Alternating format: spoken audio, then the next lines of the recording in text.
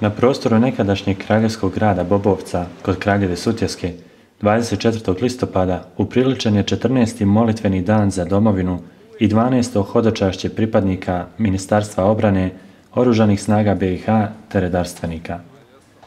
Svečano misno slavlje predvodio je vrhbosanski nadbiskup metropolit Vinko kardinal Puljić u koncelebraciji s vojnim biskupom u Hrvatskoj, monsignorom Jurijem Jezerincem i četrdesetak svećenika među kojima su bili vojni kapelani iz BiH i Hrvatske. Hodočašće je bilo pod geslom Nebeska majko, čuvaj naše obitelji, gnjezdo života, vjere i duhovnih zvanja. Prema dosadašnjoj uhodanoj tradiciji, molitvena procesija započela je okupljanjem kod rijeke Bukovice podno Bobovca, nakon čega su se časnici, vojnici i redarstvenici, noseći zastave BiH te hrvatske komponente oružanih snaga, zaputili na nekoliko kilometara udaljen Bobovac. Tijekom puta zajednički je moljena krunica koju je započeo kardinal Puljić. Nakon dolaska na Bobovac, glavni vojni kapelan Monsignor Željko Čuturić pozdravio je nazočne, a posebno okupljene predstavnike vojnih atašeja u BiH, Sloveniji te Hrvatskoj, kao i pripadnike Eufora, predstavnike vlasti na čelu s predsjednikom Federacije BiH Marinkom Čavarom, djelatnike Ministarstva obrane i pripadnike Oružanih snaga BiH te policije. U prigodnoj propovjedi kardinal je podsjetio na riječi pape Franje izrečene tijekom pastirskog pohoda Sarajevu, u kojima je naglasio kako vjernici nemaju pravo zaboraviti svoju povijest. Upravo radi toga što smo svjesni svojih korijenja i svoje povijesti, započeli smo ovo hodočašće na kraljevski grad Bobovac. I upravo Ovdje na kraljevskom gradu Bobovcu želimo moliti za našu domovinu.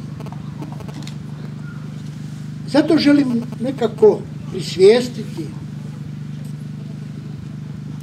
ne toliko da protumačim riječ samu, ali domovina je tamo gdje je moj dom, gdje ja živim. I tu zapravo osjećam da sam tu primio kulturu, tu sam primio i krštenje, tu sam primio i materinski jezik. Molitvu vjernika čitali su pripadnici oružanih snaga i policije različitih razina, a na kraju mise ministrica Pendeš darovala je kardinalu Puljiću sliku koju je naslikao pripadnik treće pješačke bojne šeste brigade oružanih snaga BiH, narednik Marijan Paradžik. Na kraju molitvenog pohoda pod Bobovca, odakle je i započela procesija, za sve sudionike pripremljen je vojnički grah. U izjavi za katolički tjednik kardinal Puljić je rekao Bobovac je povijesni grad, kraljice i naše povijesne Bosne i Hercegovine i kraljice Bosanske i na neki način ovdje mi želimo obnoviti pamćenje. Čovjeka koji izgubi pamćenje nema i budućnosti. Zato ovdje obnavljamo svoju vjernost Bosni i svoj identitet. I upravo tu zapravo molim Glavnom je nakana bila da otvorimo područje, da molimo za domovinu. Svoje viđenje događaja iznio je i general Jeleć. Mi se molimo Bogu za dobrobit koju nam Bog daje, daje nam snagu da odgovorimo na sve izazove. Mi ne priječimo drugima da isto to rade, da se mole. Naša domovina Bosna i Hercegovina treba puno rada, puno truda.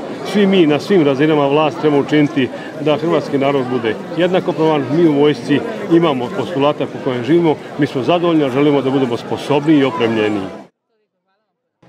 O značaju molitve za domovinu pitali smo i vjernike.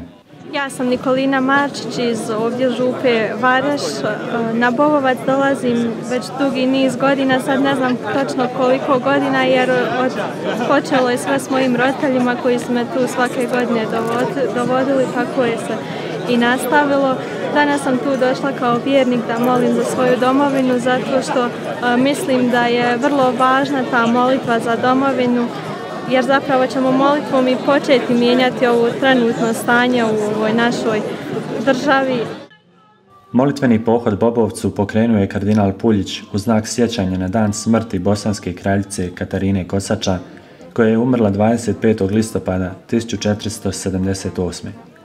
Želja je bila ujedinjenje vjernika u molitvi za osobne potrebe, za vlastiti narod i domovinu Bosnu i Hercegovinu, ali i za sve ljude i narode koji u njoj žive. One.